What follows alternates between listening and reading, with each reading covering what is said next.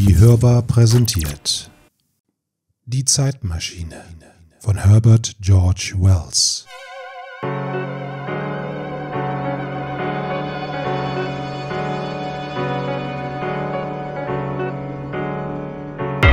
Teil 2.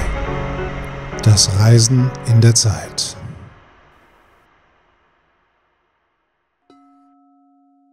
Einigen von Ihnen habe ich am letzten Donnerstag ein wenig von den Prinzipien der Zeitmaschine erzählt und ich habe Ihnen das Ding selber unvollendet in der Werkstatt gezeigt. Da steht es auch jetzt, freilich ein wenig abgenutzt. Auch ist eine Elfenbeinstange zerbrochen und eine Messingschiene verbogen, aber sonst ist sie heil. Ich erwartete, ich würde sie Freitag fertig bekommen, aber als ich Freitag beinahe mit dem Zusammensetzen fertig war, fand ich, dass eine der Nickelstangen genau einen Zoll zu kurz war und ich musste sie neu machen lassen. So wurde die Maschine erst heute Morgen fertig. Heute gegen 10 Uhr begann die erste aller Zeitmaschinen ihre Karriere. Ich legte die letzte Hand an, sah noch einmal alle Schrauben nach, tat noch einen Tropfen Öl auf die Quarzstange und setzte mich auf den Sattel. Ich vermute, ein Selbstmörder, der sich die Pistole an den Schädel hält, muss ungefähr ebenso fragen wie ich, was nun kommen werde. Ich nahm den Vorwärtshebel in die eine, den Rückwärtshebel in die andere Hand, presste den einen und fasste sofort auch den anderen. Mir war, ich drehte mich, ich hatte die Albempfindung des Fallens. Und als ich mich umsah, sah ich das Laboratorium genau wie vorher. War irgendetwas geschehen? Einen Moment lang argwöhnte ich, mein Intellekt habe mich betrogen. Dann sah ich auf die Uhr. Einen Moment zuvor, wie es schien, hatte sie noch etwa eine Minute nach zehn gestanden. Jetzt war sie fast halb vier. Ich holte Atem, biss die Zähne zusammen, fasste den Vorwärtshebel mit beiden Händen und ging mit einem dumpfen Schlag los. Das Laboratorium wurde neblig und dunkel. Mrs. Watchett kam herein und ging, offenbar ohne mich zu sehen, zur Gartentür. Sie wird wohl eine Minute oder so gebraucht haben, um durchs Zimmer zu gehen, aber mir kam es vor, als schösse sie wie eine Rakete hindurch.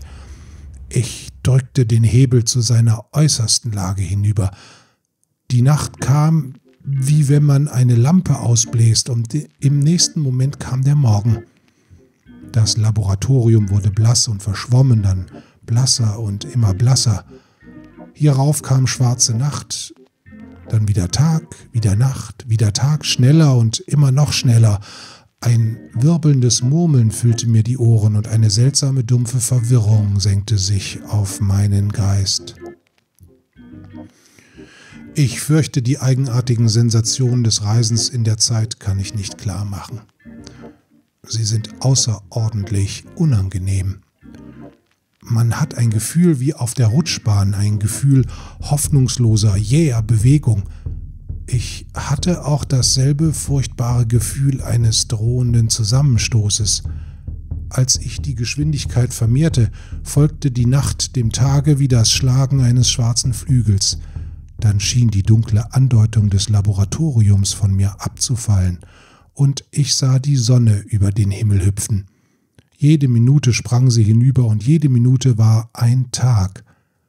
Ich dachte mir, das Laboratorium sei zerstört und ich sei in die freie Luft hinausgekommen. Ich hatte eine dunkle Empfindung des Stürzens, aber ich ging schon zu schnell, um mir noch sich bewegender Dinge bewusst zu werden. Die langsamste Schnecke, die jemals kroch, raste zu schnell an mir vorbei.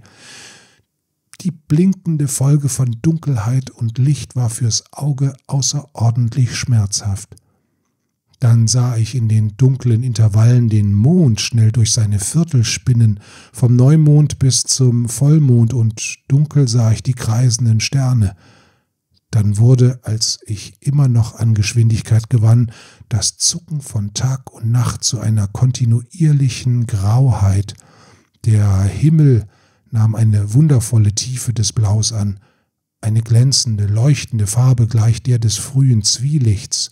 Die springende Sonne wurde ein Feuerstreif, ein glänzender Bogen im Raum, der Mond ein schwächeres, fluktuierendes Band, und von den Sternen konnte ich nichts mehr sehen als hin und wieder einen helleren Kreis, der im Blau aufzitterte.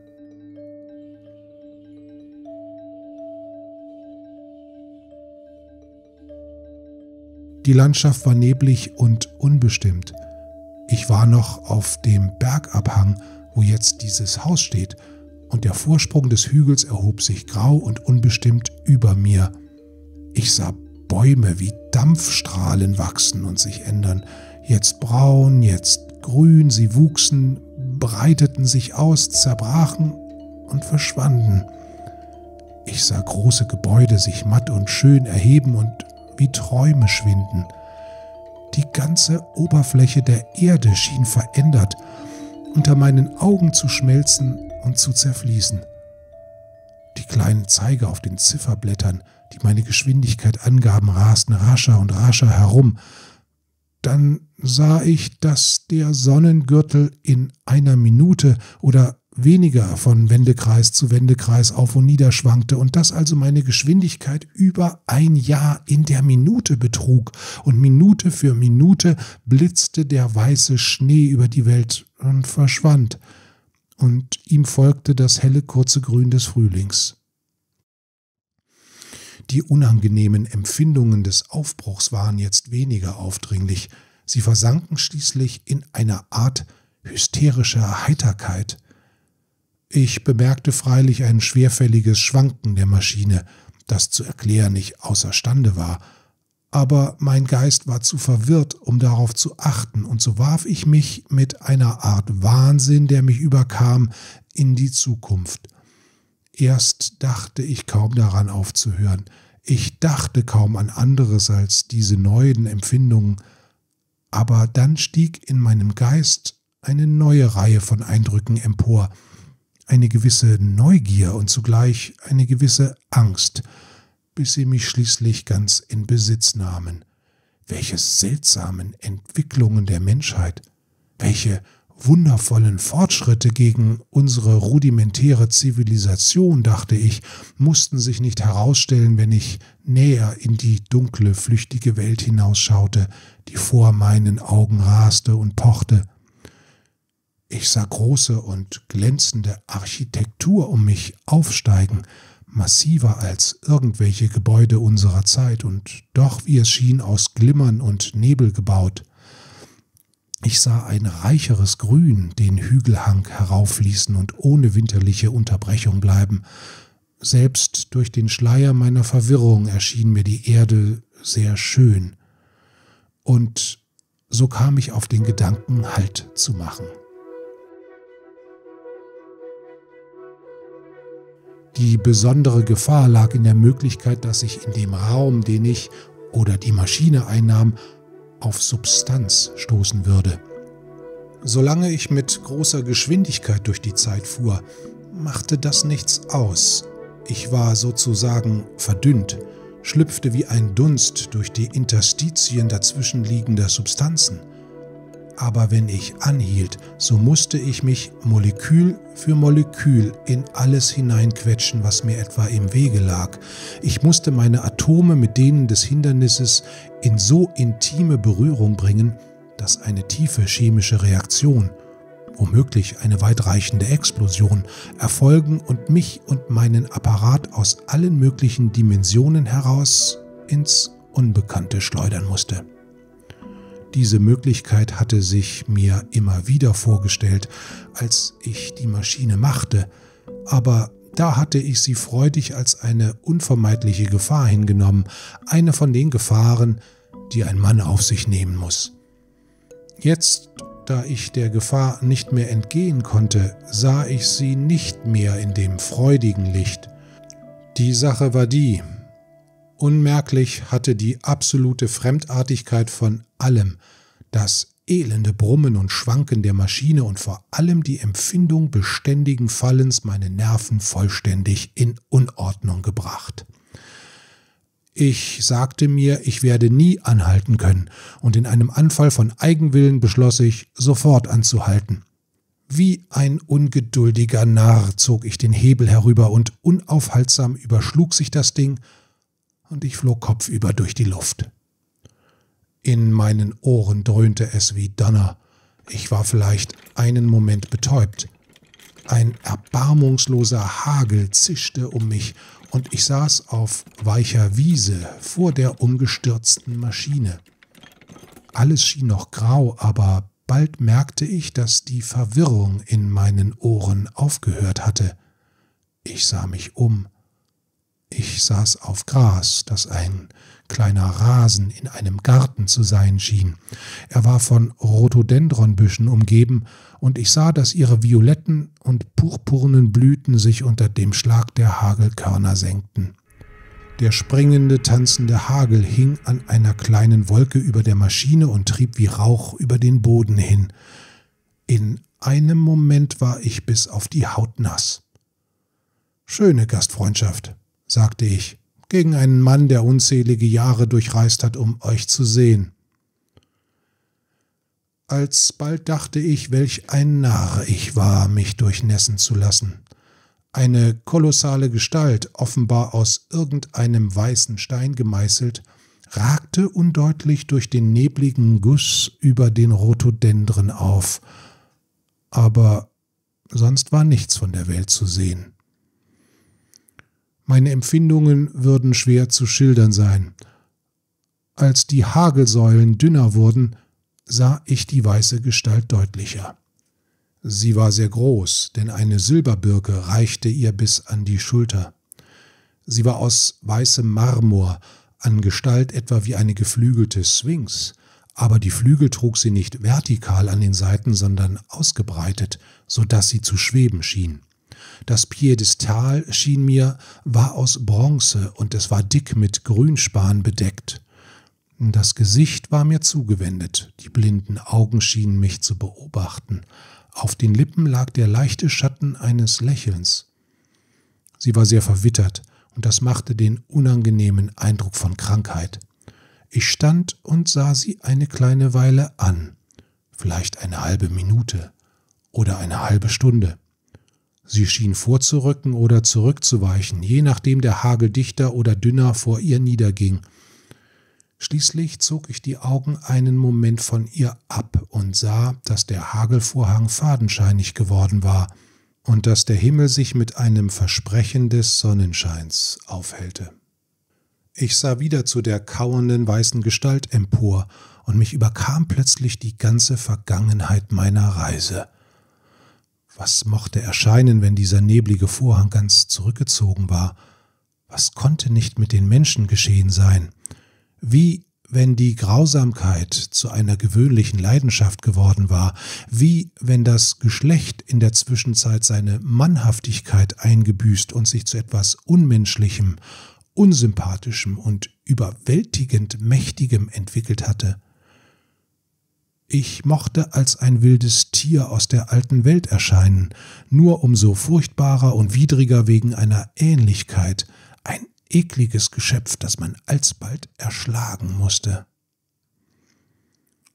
Schon sah ich andere Gestalten, gewaltige Gebäude mit verschlungenen Brustwehren und großen Säulen und einen bewaldeten Hügelhang, durch den sich legenden Hagelsturm undeutlich gegen mich herankriechen. Mich ergriff panische Furcht. Ich wandte mich wie wahnsinnig zur Zeitmaschine und versuchte sie wieder aufzurichten. Und als ich das tat, schlugen die Strahlen der Sonne durch den Gewitterguss. Der graue Hagel wurde beiseite gefegt und verschwand wie das schleppende Kleid eines Geistes. Über mir wirbelten im intensiven Blau des Sommerhimmels einige schwache braune Wolkenfetzen in das Nichts. Die großen Bauten um mich standen klar und deutlich da und glänzten von der Nässe des Gewittergusses. Ich fühlte mich wie sich ein Vogel in klarer Luft fühlen mag, wenn er weiß, dass der Falke über ihm schwebt und zupacken wird. Meine Angst wurde zum Wahnsinn. Ich holte Luft, bis die Zähne aufeinander und rang noch einmal wild mit Hand und Knie an der Maschine. Sie gab unter meinem verzweifelten Angriff nach und drehte sich um. Sie schlug mir heftig gegen das Kinn.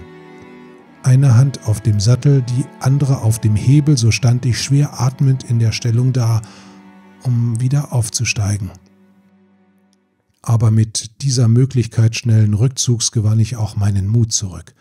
Ich blickte mit mehr Neugier und weniger Furcht auf diese Welt der fernen Zukunft. In einer kreisrunden Öffnung hoch oben in der Mauer des näheren Hauses sah ich eine Gruppe von in reiche, weiche Gewänder gekleideten Gestalten. Sie hatten mich gesehen, und ihre Gesichter waren mir zugewandt. Dann hörte ich Stimmen sich mir nahen. Durch die Büsche bei der weißen Sphinx kamen Köpfe und Schultern laufender Männer. Einer von ihnen tauchte auf einem Pfad auf, der geradeswegs zu dem kleinen Rasen führte, auf dem ich mit meiner Maschine stand. Es war ein kleines Geschöpf, vielleicht vier Fuß hoch, in eine purpurne Tunika gekleidet, über den Hüften mit einem Ledergürtel gegürtet. An seinen Füßen trug er Sandalen oder Schuhe, ich konnte es nicht deutlich sehen. Seine Beine waren bis zu den Knien nackt und sein Kopf unbedeckt. Als ich das sah, merkte ich zum ersten Mal, wie warm die Luft war. Es erschien als ein sehr schönes und anmutiges Geschöpf, aber als unbeschreiblich zerbrechlich. Sein gerötetes Gesicht erinnerte mich an die schönere Art von Schwindsüchtigen, an jene hektische Schönheit, von der wir so viel haben zu hören bekommen. Bei seinem Anblick gewann ich plötzlich meine Zuversicht zurück. Ich nahm die Hände von der Maschine. Und dieses zerbrechliche Geschöpf aus der Zukunft. Es kam direkt auf mich zu und lachte mir in die Augen. Dass in seiner Haltung jedes Zeichen von Furcht fehlte, fiel mir sofort auf. Dann wandte er sich zu den beiden anderen, die ihm folgten, und sprach mit ihnen in einer fremden und sehr lieblichen, flüssigen Sprache. Es kamen noch mehr und bald umstand mich eine Gruppe von vielleicht acht oder zehn dieser feinen Geschöpfe. Einer von ihnen redete mich an. Merkwürdig genug, mir kam der Gedanke, meine Stimme sei für sie zu hart und zu tief. Also schüttelte ich den Kopf, zeigte auf meine Ohren und schüttelte ihn wieder. Er trat einen Schritt vor, zögerte und berührte dann meine Hand. Dann fühlte ich mehr kleine, weiche Taster auf Rücken und Schultern. Sie wollten sich überzeugen, dass ich wirklich war. All das war durchaus nicht besorgniserregend. Ja, irgendetwas in diesen hübschen kleinen Leuten flößte Vertrauen ein. Eine anmutige Weichheit, eine gewisse kindliche Unbefangenheit – und außerdem sahen sie so gebrechlich aus, dass ich mir vorstellen konnte, wie ich das ganze Dutzend von ihnen wie Kegel umwarf. Aber ich machte eine plötzliche Bewegung, um sie zu warnen, als ich ihre kleinen rosigen Hände nach der Zeitmaschine tasten sah. Zum Glück dachte ich da, ehe es zu spät war, an eine Gefahr, die ich bisher vergessen hatte, und indem ich über den Rahmen der Maschine griff, schraubte ich die kleinen Hebel los, die sie in Bewegung setzten, und steckte sie in die Tasche. Dann drehte ich mich wieder um, um zu sehen, was sich zu einer Verständigung tun ließ und dann blickte ich ihnen genauer in ihre Züge und sah einige weitere Besonderheiten ihres Meißener Porzellantypus der Schönheit. Ihr Haar, das durchweg lockig war, hörte auf Hals und Backen scharf auf, im Gesicht war nicht die geringste Spur davon vorhanden und ihre Ohren waren merkwürdig klein. Der Mund war klein, mit leuchtendem Rot und ziemlich dünnen Lippen, und das kleine Kinn lief in eine Spitze aus. Die Augen waren groß und mild, und das mag als Egoismus meinerseits erscheinen, mir war sogar, als ließen sie es an dem Interesse fehlen, das ich von ihnen hätte erwarten können. Da sie keinen Versuch machten, sich mit mir zu verständigen, sondern einfach lächelnd um mich standen und in weichen Tönen miteinander girrten, so begann ich die Unterhaltung. Ich zeigte auf die Zeitmaschine und auf mich. Dann zögerte ich einen Moment, wie ich die Zeit ausdrücken sollte, und zeigte auf die Sonne. Sofort folgte eine altfränkisch hübsche kleine Gestalt in scheckigem Purpur und Weiß meiner Geste und erstaunte mich dann, indem sie den Schall des Donners nachahmte. Einen Moment wurde ich schwankend, obgleich der Sinn seiner Antwort klar genug war. Mir war plötzlich die Frage gekommen, sind diese Geschöpfe Narren? Vielleicht verstehen sie kaum, wie sie mir kam, aber sehen Sie, ich hatte immer angenommen, die Leute aus dem Jahre 2800 und so weiter würden uns an Wissen, Kunst und allem unglaublich voraus sein. Und nun stellte mir einer von ihnen plötzlich eine Frage, die ihn auf dem intellektuellen Niveau unserer fünf Jahre alten Kinder zeigte und fragte mich, ob ich im Gewitter von der Sonne gekommen sei. Ich ließ das Urteil los, das ich über ihre Kleider, ihre dünnen, leichten Glieder und zerbrechlichen Züge zurückgehalten hatte. Eine Flut von Enttäuschung stürzte mir durch den Geist. Einen Moment lang empfand ich, dass ich die Zeitmaschine vergebens gebaut hatte. Ich nickte, zeigte auf die Sonne und ahmte ihnen einen Donnerschlag so lebendig nach, dass es sie erschreckte. Sie traten alle einen Schritt oder so zurück und verbeugten sich. Dann trat einer lachend mit einer Kette von schönen Blumen, die mir ganz neu waren, zu mir hin und hängte sie mir um den Hals. Der Gedanke wurde mit melodischem Applaus aufgenommen, und alsbald liefen sie alle nach den Blumen hin und her und bewarfen mich lachend damit, bis ich unter Blüten fast erstickte, Sie haben nie etwas Ähnliches gesehen und können sich kaum vorstellen, was für zarte und wundervolle Blumen zahllose Jahre der Kultur geschaffen hatten. Dann regte einer an, ihr Spielzeug solle im nächsten Gebäude gezeigt werden, und so wurde ich an der Sphinx aus weißem Marmor vorbei, die mich die ganze Zeit mit einem Lächeln über mein Staunen beobachtet zu haben schien, zu einem großen grauen Gebäude aus durchbrochenem Stein geführt. Als ich mit ihnen ging, trat mir mit unwiderstehlicher Heiterkeit die Erinnerung an meine zuversichtlichen Prophezeiungen von einer tief ernsten und intellektuellen Nachwelt vor die Seele. Das Gebäude hatte einen riesigen Eingang und war überhaupt von kolossalen Dimensionen. Mich beschäftigten natürlich am meisten die wachsende Menge kleiner Leute und die großen offenen Portale, die mir schattenhaft und geheimnisvoll entgegengähnten. Mein Haupteindruck von der Welt, die ich über ihren Köpfen sah, war der einer verwirrten Wüste von wundervollen Büschen und Blumen, der eines lange vernachlässigten und doch von Unkraut rein gebliebenen Gartens. Ich sah eine Anzahl hoher Ähren von seltsamen weißen Blumen, die vielleicht quer über der Fläche der wächsernen Blütenblätter einen Fuß maßen. Sie wuchsen zerstreut wie wild unter mancherlei Büschen, aber wie gesagt, ich untersuchte sie nicht weiter. Die Zeitmaschine blieb auf dem Rasen zwischen den Rhododendren zurück.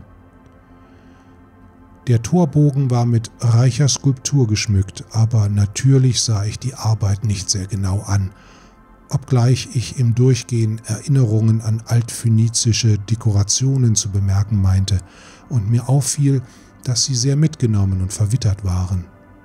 Mehrere heller gekleidete Leute traten mir im Torweg entgegen und so gingen wir hinein ich in schmutzige Kleider des 19. Jahrhunderts gekleidet, grotesk genug mit Blumen bekränzt, umgeben von einer wirbelnden Masse heller, reichfarbiger Gewänder und leuchtender Glieder in einem melodischen Tanz des Lachens und lachender Rede.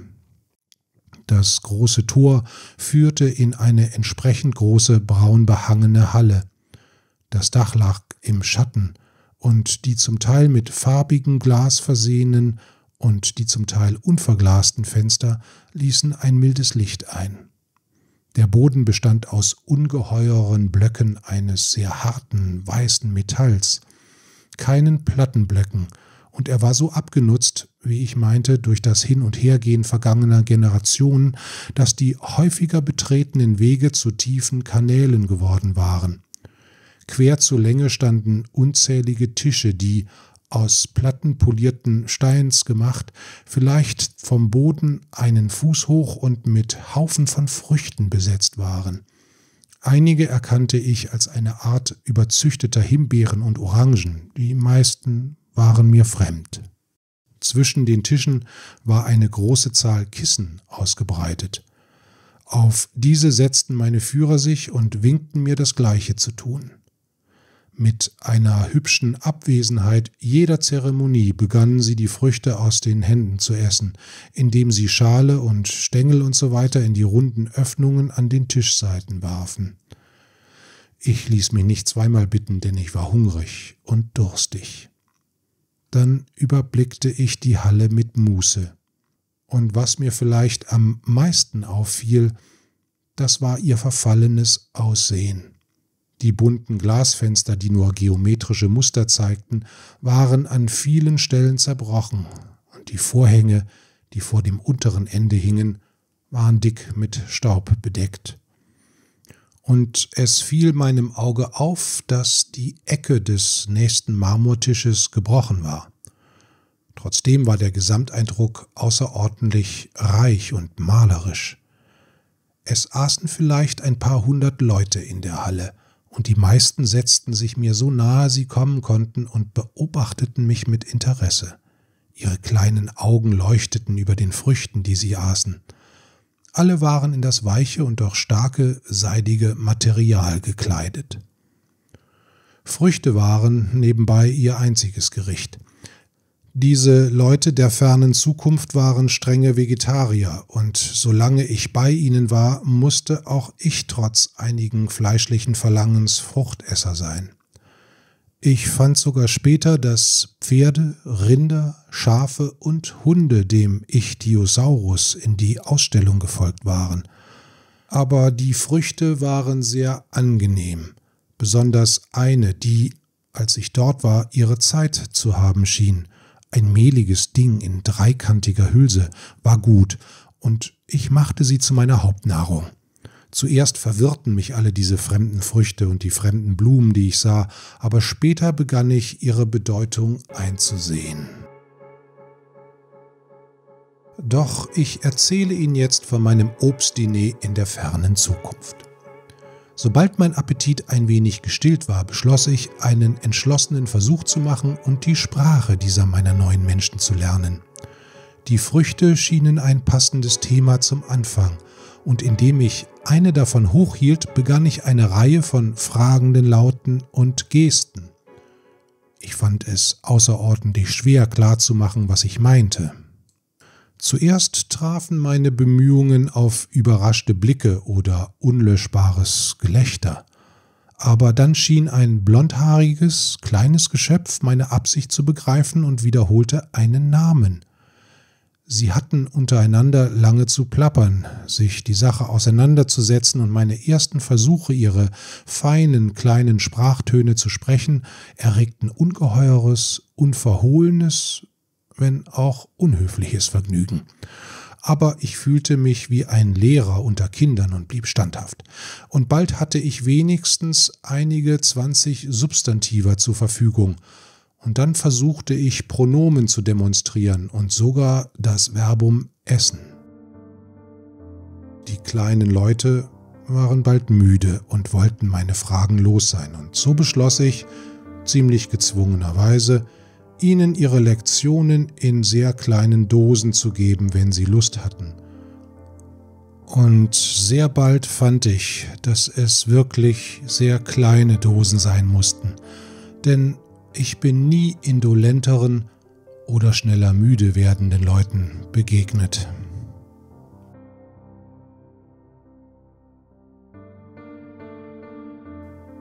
Etwas Wunderliches entdeckte ich bald an meinen kleinen Wirten, und das war ihr Mangel an Interesse.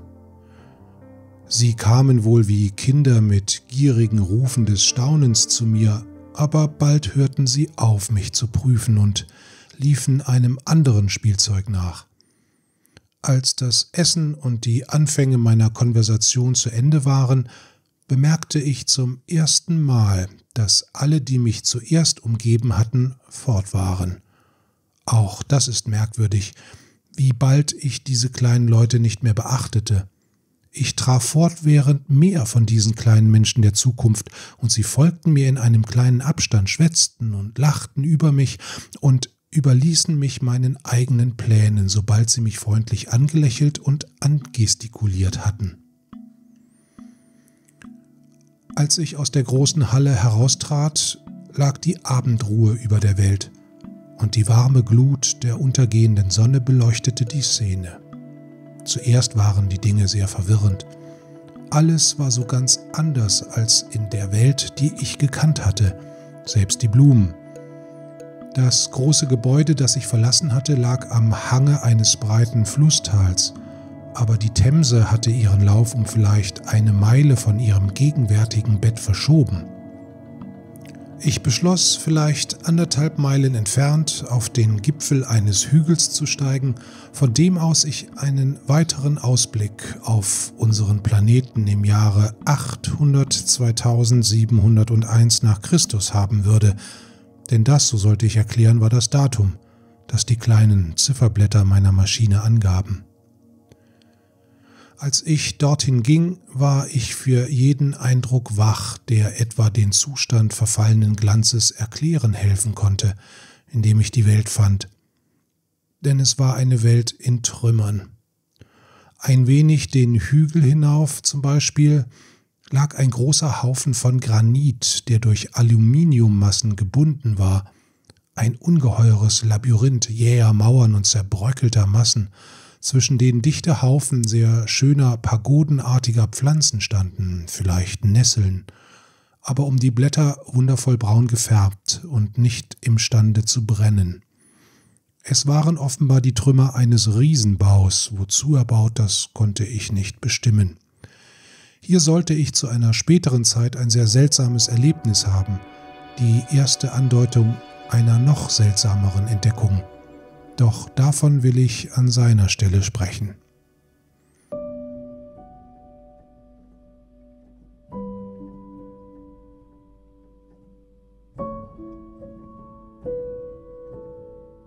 Als ich mich mit einem plötzlichen Gedanken von einer Terrasse aus, wo ich eine Weile ruhte, umsah, entdeckte ich, dass keine kleinen Häuser zu sehen waren. Offenbar war das einzelne Haus, vielleicht sogar der Haushalt, verschwunden. Hier und dort standen im Grün palastartige Gebäude, aber das Haus und Landhaus, das einen so charakteristischen Zug englischer Landschaft ausmacht, war nicht mehr vorhanden. Kommunismus, sagte ich zu mir selber. Und dem Gedanken folgte ein weiterer auf den Fersen. Ich sah das halbe Dutzend kleiner Gestalten an, die mir folgten. Da sah ich im Blitz, dass alle das gleiche Kostüm trugen, alle die gleichen weichen, haarlosen Gesichter und die gleiche mädchenhafte Rundung der Gliedmaßen zeigten.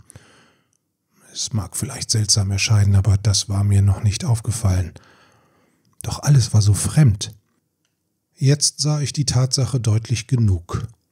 Im Kostüm und in all den Unterschieden des Gewebes und der Machart, die jetzt die Geschlechter markieren, waren diese Leute der Zukunft gleich, und die Kinder schienen mir nur die Miniaturen ihrer Eltern zu sein.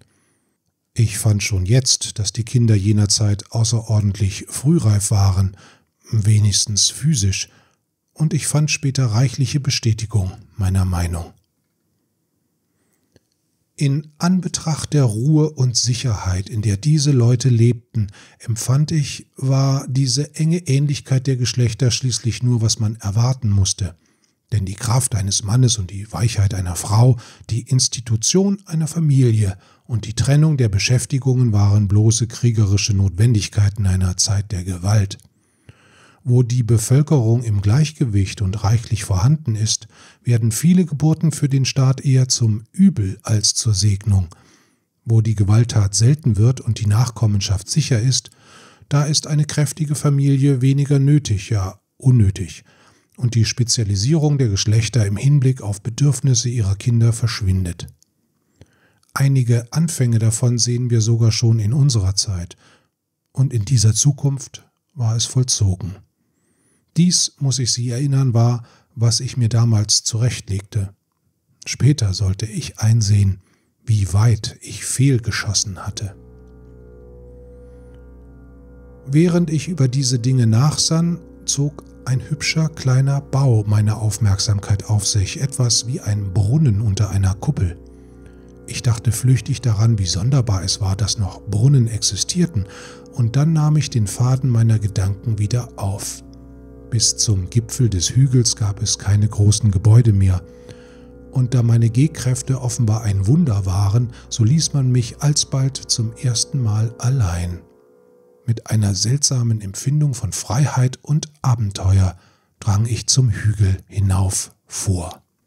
Dort fand ich einen Sitz aus einem mir nicht bekannten gelben Metall, das stellenweise von rötlichem Rost angenagt und halb in weichem Moos erstickt war. Die Armlehnen des Sessels waren zu Greifenköpfen gefeilt. Ich setzte mich und überschaute den weiten Ausblick auf unsere alte Welt unter dem Sonnenuntergang jenes langen Tages. Es war eine so liebliche und schöne Aussicht, wie ich nur je gesehen hatte. Die Sonne stand schon unterm Horizont und der Westen war flammendes Gold mit einigen Horizontalstreifen von Purpur und Rot. Darunter lag das Themsetal, in dem der Fluss wie ein Band glänzenden Stahles floss. Ich habe bereits von den großen Palästen gesprochen, die unter dem mancherlei Grün verstreut standen, einige in Trümmern und einige noch bewohnt. Hier und dort erhob sich eine weiße oder silbrige Gestalt im wilden Garten der Erde, hier und dort sah ich die scharfe Vertikallinie einer Kuppel oder eines Obelisken. Es gab keine Hecken, keine Zeichen von Eigentumsrechten, kein Zeugnis der Landwirtschaft, die ganze Erde war ein Garten geworden. Als ich so niedersah, begann ich meine Deutung auf die Dinge zu legen, die ich gesehen hatte und wie sie sich an diesem Abend vor mir aufbaute, war meine Deutung etwa die folgende. Später fand ich, dass ich nur eine Halbwahrheit gewonnen hatte oder nur einen Widerschein von einer Schleifflasche der Wahrheit. Mir schien, ich war zu der Menschheit in ihrem Untergang gekommen. Der rote Sonnenuntergang gab mir den Gedanken eines Sonnenuntergangs der Menschheit ein. Zum ersten Mal begann ich eine sonderbare Folge der sozialen Anstrengung zu sehen, an der wir jetzt arbeiten. Und doch ist es recht bedacht eine ganz natürliche Folge. Die Kraft ist das Ergebnis der Not. Die Sicherheit setzt die Prämie auf Schwäche. Die Arbeit an der Verbesserung der Lebensbedingungen, der echte Zivilisationsprozess, der das Leben immer sicherer macht, war stetig bis zu einem Höhepunkt gestiegen. Dinge, die jetzt bloße Träume sind, waren mit Überlegung angegriffene und ausgeführte Pläne geworden.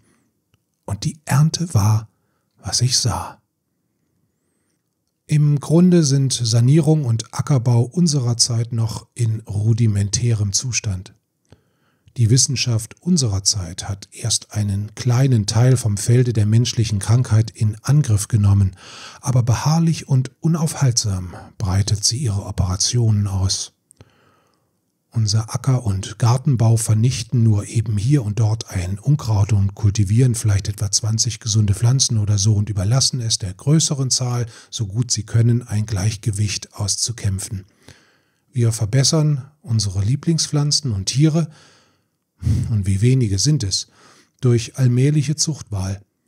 Bald einen neuen und besseren Pfirsich, bald eine samenlose Traube, bald eine schönere und größere Blume, bald eine brauchbarere Rinderrasse. Wir verbessern sie langsam, weil unsere Ideale unklar und nur Versuche sind und unser Wissen sehr beschränkt, weil auch die Natur in unseren plumpen Händen scheu und langsam ist. Eines Tages wird all das besser und immer besser organisiert werden. So treibt der Strom trotz seiner Wirbel. Die ganze Welt wird intelligent und gebildet sein, wird zusammenarbeiten, alles wird schneller und schneller auf die Unterjochung der Natur losarbeiten. Schließlich werden wir die Waage des animalischen und vegetabilischen Lebens klug und sorgfältig stellen, sodass sie unseren menschlichen Bedürfnissen entspricht. Diese Anpassung, sage ich, musste geschehen sein, und zwar gut, musste in der Zeit, die meine Maschine durchsprungen hatte, für alle Zeiten vollzogen sein. Die Luft war frei von Mücken, die Erde von Unkraut und Schwamm.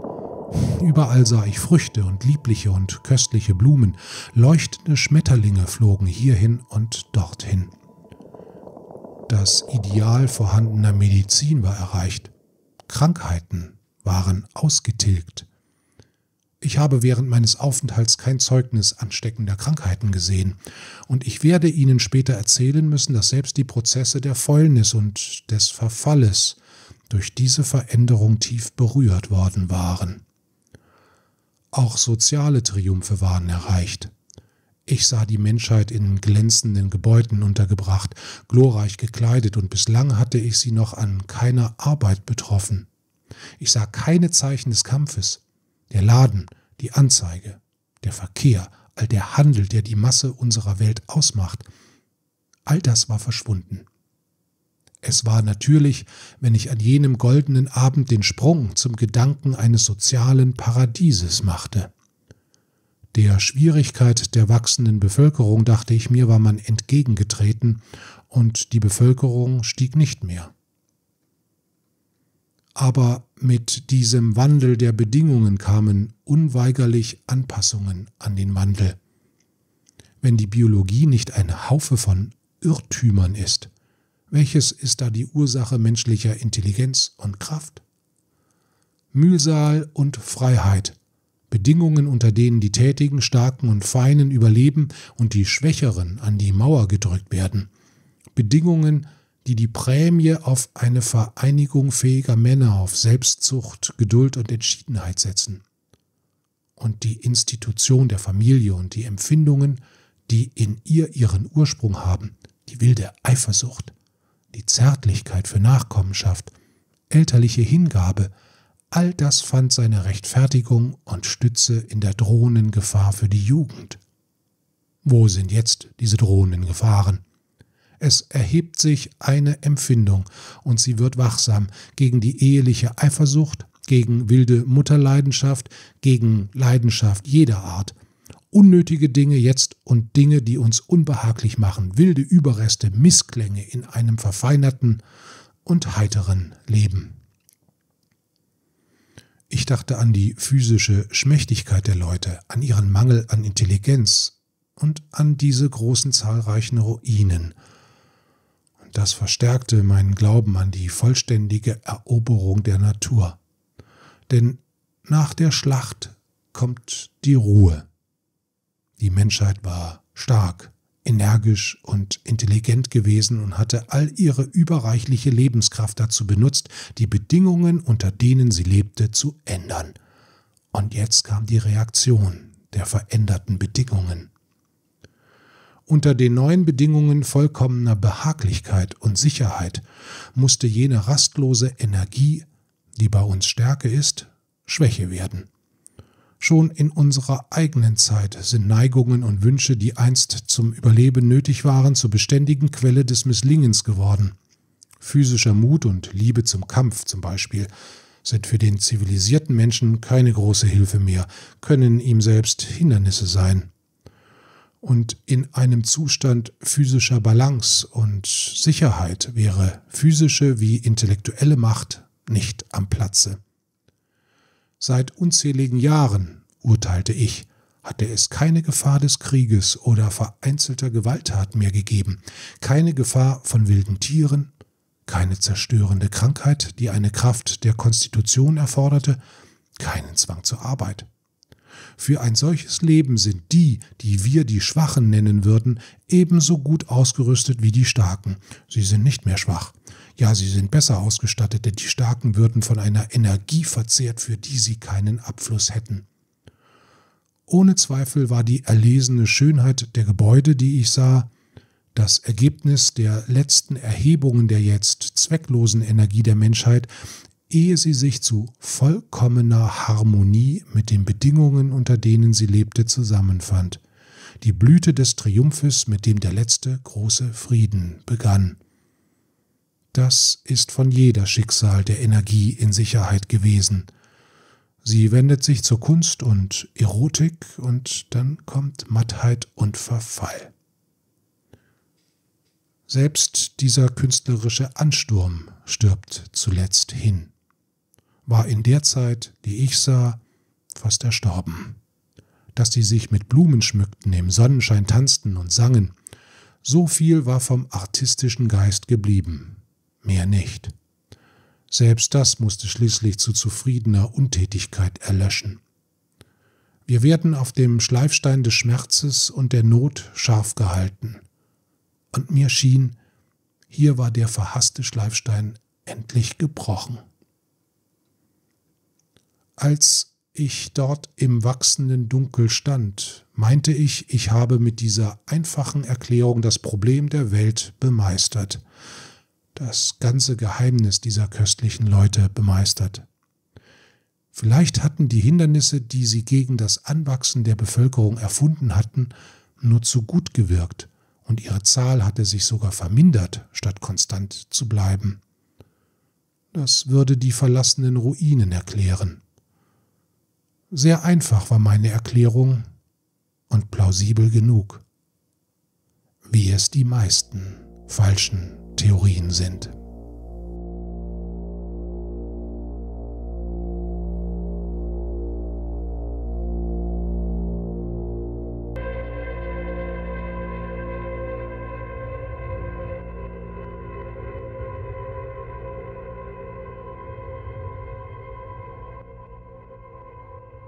Die nächste Folge der Zeitmaschine bald in der Hörbar.